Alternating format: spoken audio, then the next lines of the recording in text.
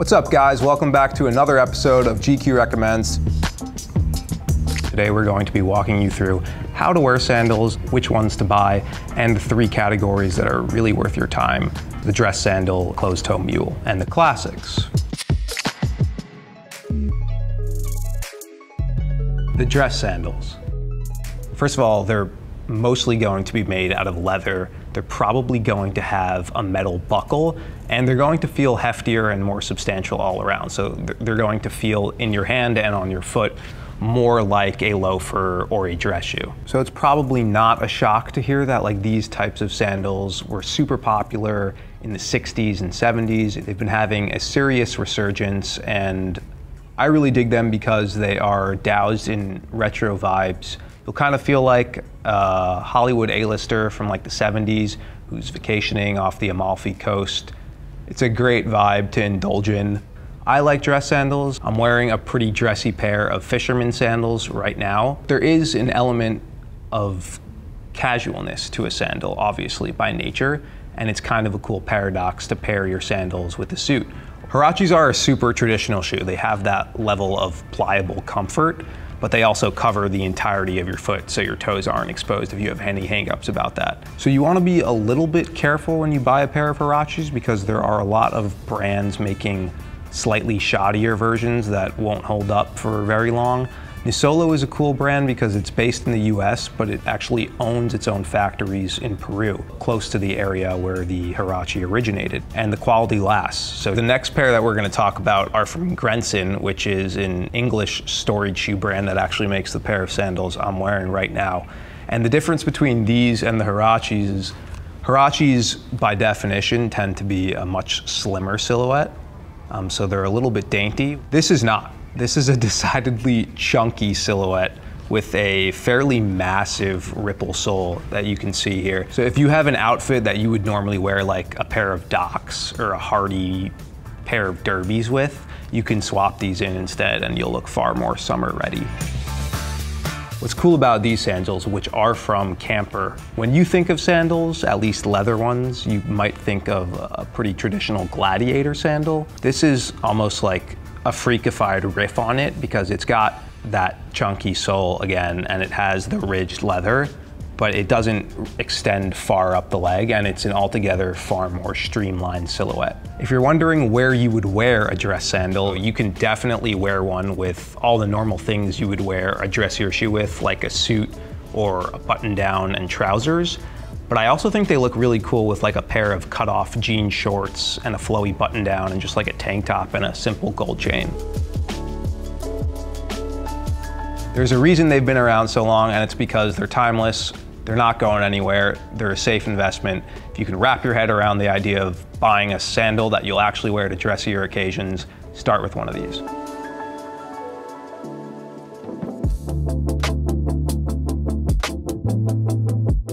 A mule is basically a sandal that is closed at the toe but open at the back. It's as simple as that. Mules are huge right now. And who's to say why? There's probably myriad reasons, all sorts of different factors that are working together to contribute to their rise.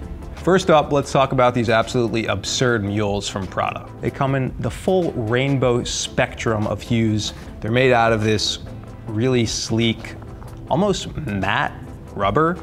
They're super comfortable, if I had to pick one pair of mules pop off in the NBA tunnel when the season starts next season, it would definitely be these Prada joints. These are not a viable dress sandal alternative. I have a feeling that if you have the money to buy a pair of these, you're probably pretty comfortable wearing them around the house as a shoe that you don't do anything other than get the mail or run to the bodega in. Um, but they would also look really cool with like a pair of baggy flared jeans and like a fuzzy striped cardigan. Super cozy vibes, but again, if you're looking for uh, a pretty splashy logo hit, these will definitely do the trick. Marni's take on the silhouette is much sleeker and a little bit more discreet because it's cut from this kind of handsome pebbled grain leather type of material you might see on a pair of brogues or more high-end dress shoe, I think makes it way more versatile and, and also way more conducive to dressing up. I would wear these with like a super slouchy suit and like a, a threadbare white tee, honestly. Like if, if you're familiar with Issey Miyake and you like the, the pleats pants that he makes, you should buy the jacket version too.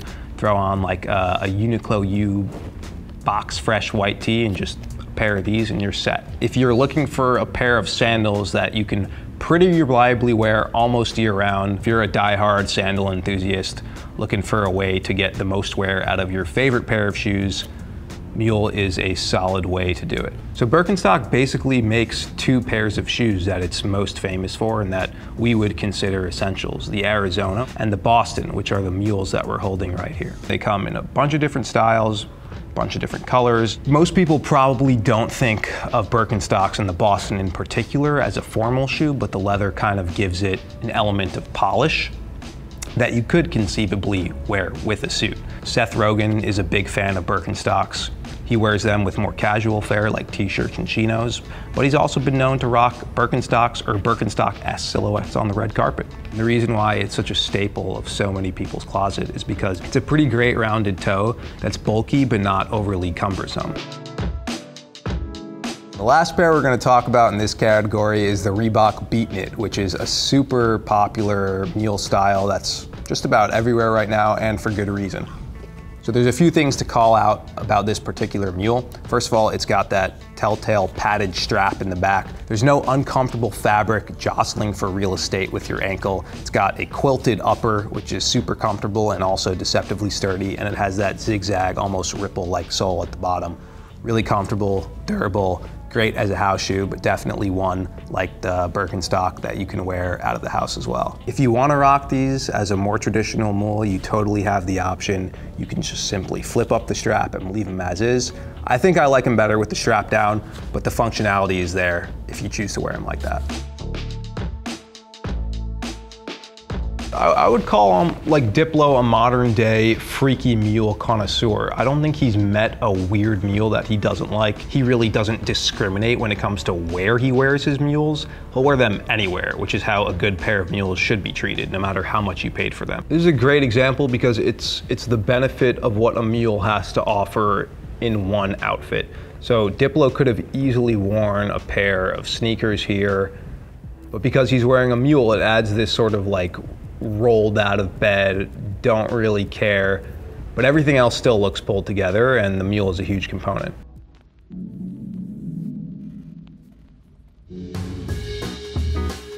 We're going to walk you through a few classic styles that will never steer you wrong. Well, we're starting with Birkenstocks because they're kind of the first name in the sandal game. They've been around in one form or another since the late 1700s, um, but their signature style, the one that you probably recognize that you're looking at right here, is the Arizona.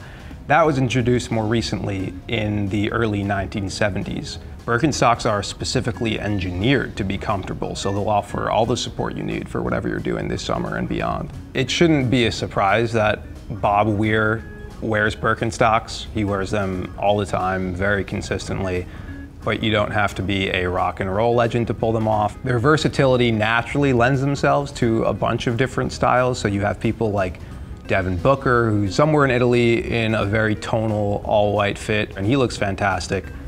And then you also have people like Chris Pine who pairs his with slim dark jeans and looks equally great too. So if you'll notice also, both of these fellows are wearing pants, which might seem a little bit unusual if you're wearing sandals as well. But the good thing about sandals nowadays is that you can actually wear them with pants. And Birkenstocks will look cool whether you're wearing them with shorts, loungy linen pants, or slim dark denim.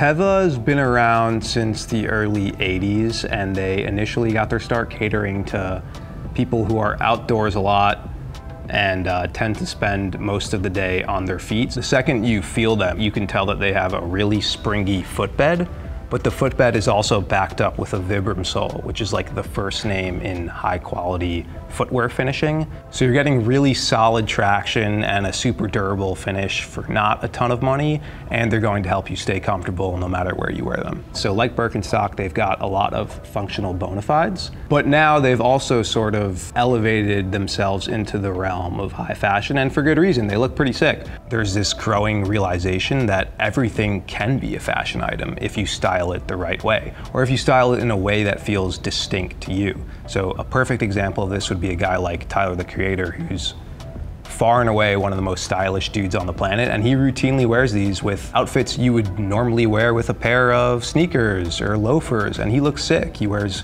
baggy cuff denim and white socks, or a puffer jacket even, which seems like a paradox. But he consistently pulls it off because he doesn't treat them like sandals. He treats them like any other shoe in his rotation. Socks and sandals, it's a contentious topic. Personally, I'm all for it. I really only ever wear my sandals with socks, and it's not because I have gross feet. Socks and sandals is a dope combination. I think they look super fresh. It's a little bit unexpected. It feels counterintuitive because it kind of is. You're almost negating the point of allowing your toes to feel the breeze by swaddling them in a pair of socks. Nike, which as you probably know is like the first name in performance gear, elevated it to its logical conclusion. It makes a super trail ready sandal that kind of builds on what Teva helped establish and then levels it up considerably with a bulky ridge sole and this bungee pull tab here that lends it all a very technical gorp-oriented finish. First and foremost, these look sick. That's always the most important component, in my opinion. The sole that you have here is ridged, it has a ton of durability and traction.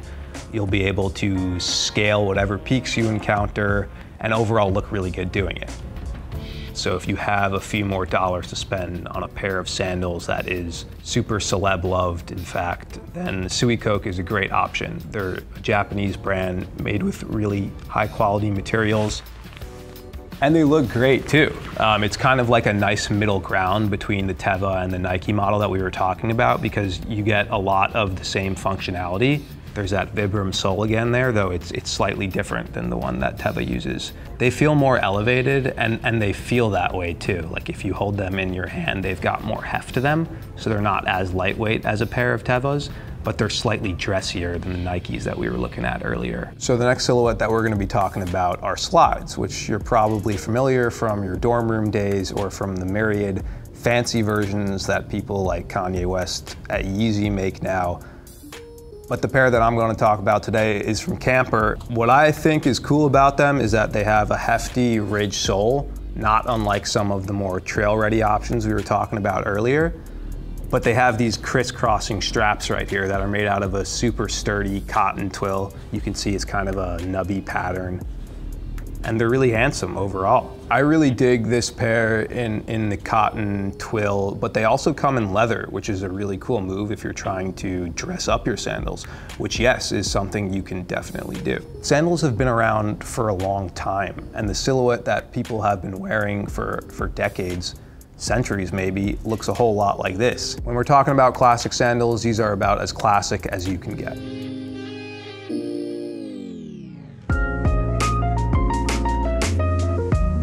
All right, guys, that's it for today. Thank you very much for tuning in, and hopefully we answered some of the questions you have about what sandals to buy and how to wear them. I think my personal favorite was probably one of the Suicoke pairs that we referenced earlier in the classic section.